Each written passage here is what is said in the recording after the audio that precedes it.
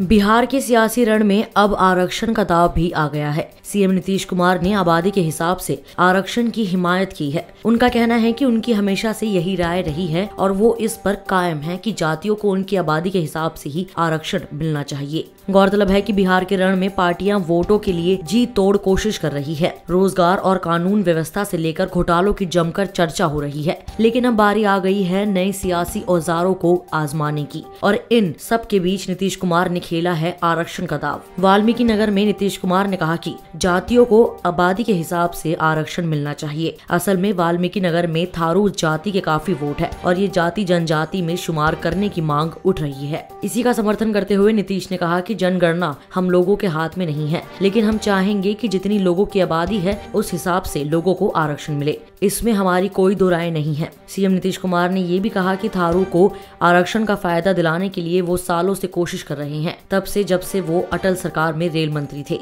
असल में यहाँ प्रचार करने के लिए पहुँचे नीतीश के सामने थारू जाति ने पुरजोर तरीके से आरक्षण का मसला रखा था।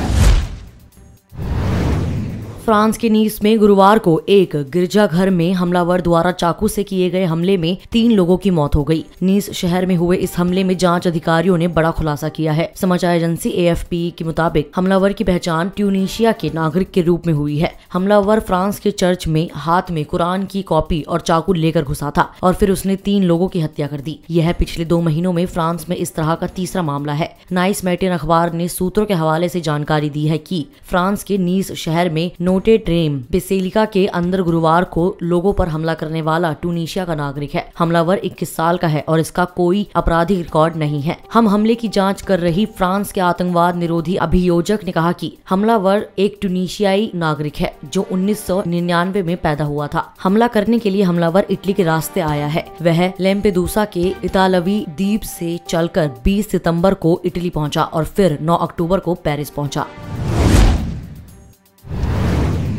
बिहार की सत्ता में पिछले पंद्रह साल से काबिज जनता दल यूनाइटेड के लिए बिहार विधानसभा चुनाव का दूसरा चरण सबसे अहम है। तीन नवंबर को होने वाले मतदान का यह चरण जदयू के लिए एनडीए गठबंधन के तहत सबसे अधिक उम्मीदवार उतारने और अच्छी खासी संख्या में अपने पास की सिटिंग सीट बचाने के लिहाज से महत्वपूर्ण है। दल के आला नेता भी इसे स्वीकारते हैं। प्रदेश जदयू अध्यक्ष वशिष्ठ नारायण सिंह ने कहा की पहले चरण में बिहार के मतदाताओं के रुख ऐसी हम उत्साहित है। दूसरा चरण हमारे लिए स्वाभाविक रूप से मजबूती लेकर आएगा। राष्ट्रीय सचिव रविंद्र सिंह ने कहा कि जदयू को दूसरे चरण से उम्मीद अधिक है।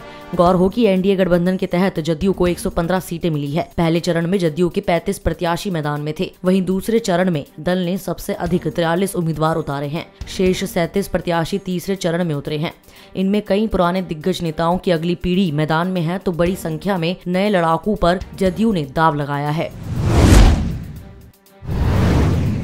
भारत, चीन पर अब भी तनाव बना हुआ है। दोनों ही देशों की सेनाएँ सीमा पर पूरी ताकत से डटी हुई है और दोनों ही देश अपनी सेनाओं को बेहतर सुविधाएँ देने के लिए लगातार प्रयास कर रहे हैं। इसी बीच गुरुवार को चीन ने बताया है कि वो अपनी सेना को नई तकनीक के कपड़े, रहने की जगह और इसके अलावा कई दूसरी सुविधाएँ देने जा रहे हैं, जिससे जवानों का प्रशिक्षण अच्छा हो, उनके रहने की स्थिति में सुधार हो। चीन के रक्षा मंत्रालय ने गुरुवार को कहा कि चीन ने युद्ध के लिए सैनिकों की तैयारी को बढ़ावा देने के लिए people's liberation army front line सैनिकों के लिए उच्च तकनीक की व्यवस्था की है। रक्षा मंत्रालय के प्रवक्ता कर्नल वू कियान ने पीएलए सीमा सैनिकों के लिए नई लॉजिस्टिक व्यवस्था के बारे में डिटेल्स शेयर की, लेकिन भारत का नाम नहीं लिया, पर उनका संदेश साफ़ है कि वो किस तक ये बात पहुंचाना चाह रहे थे। क्योंकि पूर्वी लद्दाख में भारत और चीन के बीच सीमा को लेकर कई महीनों से तनाव चल रहा है। वू ने कहा कि सैनिकों के रहने के लिए सैनिकों के नए तरह के आत्म संचालित हीट शेल्टर दिए गए हैं, जो अधिकारियों और जवानों द्वारा बनाए जा सकते हैं। वू ने बताया कि माइनस चालीस डिग्री सेंटीग्रेड के बाहरी तापमान और 5000 मीटर से अधिक की ऊंचाई वाले क्षेत्रों में इंडोर तापमान 15 डिग्री सेंटीग्रेड से अधिक हो सकता है।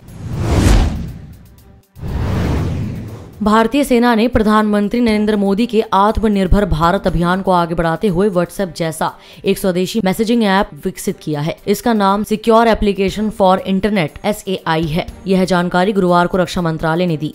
सेना का यह मैसेजिंग ऐप पूरी तरह से सुरक्षित होगा। वह इस ऐप का इस्तेमाल आपसी कम्युनिकेशन के लिए करेगी। App end to end secure voice text और वीडियो कॉलिंग सर्विस को सपोर्ट करेगा। यह messaging app android based internet service इस्तेमाल करने वाले स्मार्टफ़ोन फ़ोन के लिए होगा। रक्षा मंत्रालय की ओर से जारी बयान में कहा गया कि एसएआई भारत में पहले से मौजूद मैसेजिंग ऐप जैसे व्हाट्सएप टेलीग्राम संवाद और जीम्स जैसा होगा। यह end to end encryption messaging protocol का उपयोग करेगा। इस वीडियो में इतना ही। मैं कोमल पंजाब केसरी, दिल्ली से। अगर आपको हमारी ये खबर जानकारी पूर्ण लगे तो हमारे Facebook page Punjab Kesari dot com को लाइक करें और अगर आप हमारी ये वीडियो यूट्यूब पर देख रहे हैं तो हमारे चैनल को सब्सक्राइब करना ना भूलें।